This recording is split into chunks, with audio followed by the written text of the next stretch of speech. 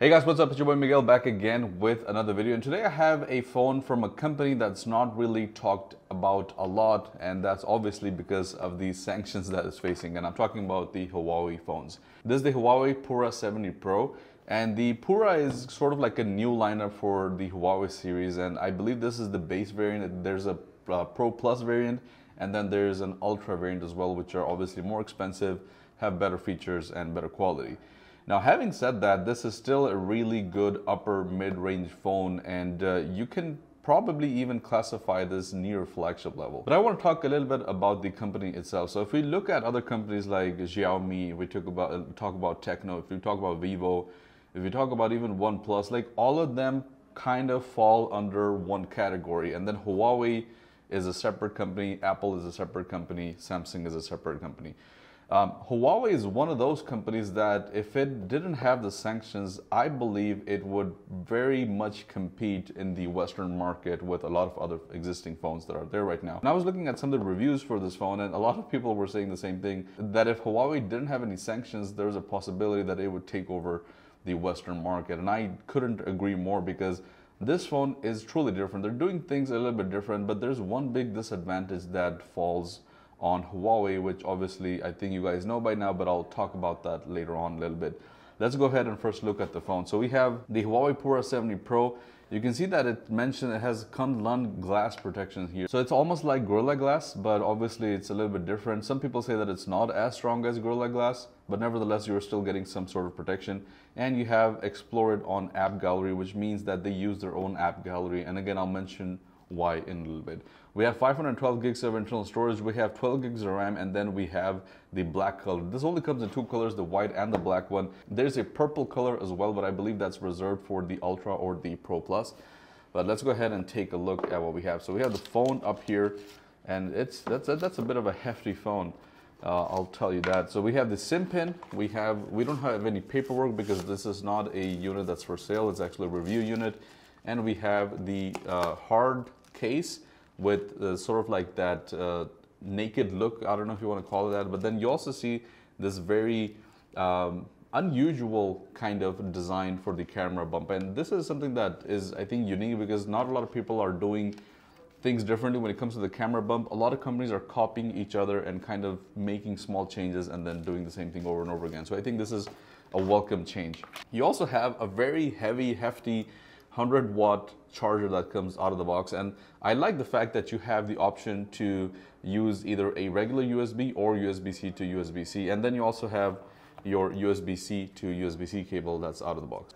If we look at the phone, immediately the phone looks familiar in a way that it, it feels like I've used this somewhere. And then I thought about it and I thought about the iPhone 10. This has a very, very similar feel to the iPhone 10 because this is overall curved. And this also has sort of like a shiny finish. And even though these sides are made up of aluminum, they're actually, they have a shiny finish very similar to the way that stainless steel looks on uh, the iPhones. And again, this is a very, I just love the way that it felt in the hand. And I think we can all agree on the fact that the iPhone 10 was probably one of the best designed iPhones out there. A lot of people really love that phone, including myself.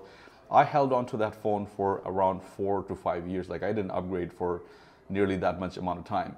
Uh, so we have curved, uh, uh, so, so, overall the phone uh, has curved edges, but it also has, has a curved display and a curved back. The back is sort of like a matte color, which I really like because it is prone, it is not prone, sorry, it's not prone to any sort of fingerprints at all. Like you can't even see any smudges or anything like that. Usually with phones that have a matte uh, back or tablets that have a matte black, you'll still be able to see some sort of smudges, but here you can't really tell. And then you have the big camera model with that unusual kind of futuristic design. You have a main 50 megapixel camera, and then you also have a 48 megapixel telephoto lens, and then you have the ultra wide camera, which is a 12.5 megapixel camera and you have your flash over here. Other things uh, when it comes to the design, you have the, your button placement over here when it comes to the volume, and then you also have your power button here, which also has this kind of like a red highlight inside of it, and I kind of like that. It's, it's a unique look.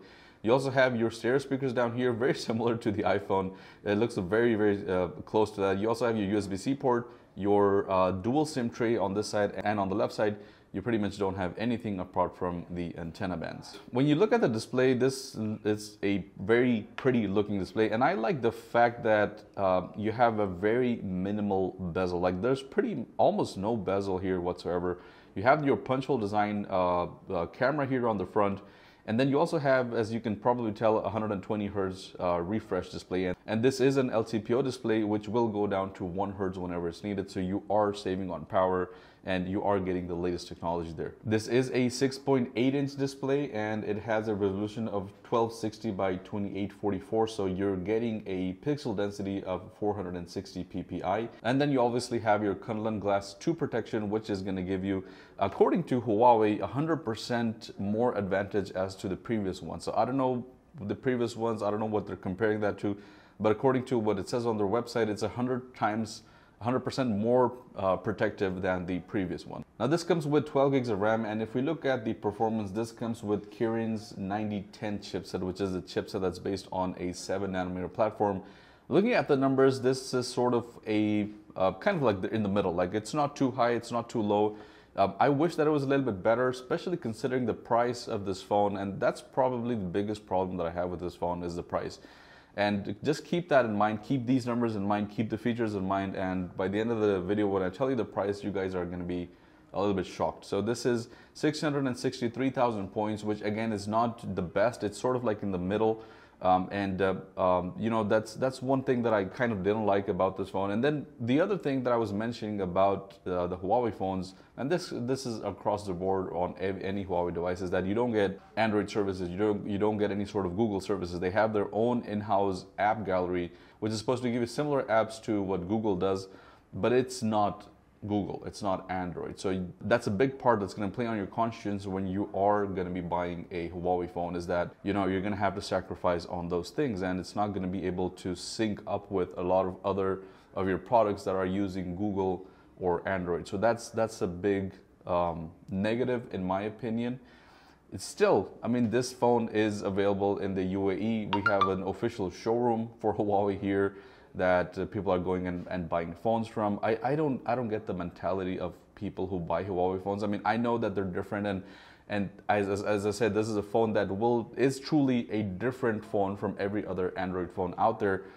But I mean, the lack of Google services is sort of like a just a dead giveaway that no, I'm not going to buy this phone. So, so I kind of struggle to understand that concept. Now, this phone, as I said, is a sort of like a mid-range phone, but it's also a very good camera phone because you have a pretty good setup. And Huawei claims that this has an ultra speed snapshot uh, camera setup, which means that you can take photos of fast moving objects. And we tried to test that theory and it didn't go as planned. Like I, I couldn't tell whether it was working or not. We, we took a bunch of photos trying to shuffle a deck of cards and see if it captured that. We tried to look at passing cars. It, it sort of still didn't give us that ultra fast uh, snapshot that Huawei claimed to give us. Nevertheless, the camera uh, setup is, is pretty good. Um, you have a 15 megapixel camera and then you also have a 48 megapixel telephoto lens, which uh, according to here, if I go ahead and, and, start zooming, then it gives me up to 100 times um, of digital zoom. And I think this just goes up to 3.5 times optical zoom. So that's one of the things that you have to keep in mind. You also have your ultra wide camera over here, which is gonna provide you 12.5 megapixels and um, this also does take night photography and does, does a pretty good job at that because it has an aperture of 1.3 f so it opens up pretty wide and it's pretty good when take when taking night photography. One of the things that I didn't like is again the front facing camera. It kind of has that beauty effect and even though I turned it off it kind of still has that effect and I, I don't I'm not a big fan. If you guys can tell by now in every video I pretty much discuss that and um, it's it's sort of okay, but it still kind of gives you that soft look, which which I don't like. Battery wise, uh, this has a pretty big battery, and uh, well, not pretty big, but it's a little bit bigger than average. And uh, if we look at it, it has a 5050 milliampere battery, which is supposed to provide you around 13 to 14 hours of uh, general use every day. And then you also have your 100 watt fast charger that comes out of the box. Now this will charge your phone from zero to 100 to zero to 50 percent in 15 minutes and then around 30 minutes for 0 to 100%. I thought it was a bit slow considering that you're getting a 100 watt charger, but I guess that's just the way that it's designed. It may have to do with protecting the battery because phones that charge way too fast are also degenerating the battery and it heats up if, if, and that's not really good for the battery. This also has an 80 watt wireless charging uh, so 80 watts is, is um, not heard of uh, really, it's, it's not really that common. But there's one more thing, and that's that it also has reverse wireless charging up to 20 watts. So that's pretty good as well. Normally you get around 20 to 30 watts of uh, wireless charging, but this has reverse wireless charging of up to 20 watts 80 watts wireless charging, and then 100 watts wired charging. Now, last but not least, if we talk about the price, now that's where it does, I, I don't really get the point because this will cost you 3,999 dirhams. Now, that is iPhone territory. Like you can get an iPhone 15 for that price. If you translate that to dollars, that's just a little bit over a thousand dollars. So you are already touching iPhone territory. You're touching flagship category, and this phone is not a flagship. I mean, yeah, especially if you look at the chipset, it's not really where it has to be to kind of be classified as a flagship phone. If you look at the camera, it's okay, but it's not the best camera that I've seen. Um, there are far better cameras that I've seen on phones that cost less than this. So um, that's probably one of my biggest problems, and I just I just don't get the pricing convention when it comes to Huawei phones.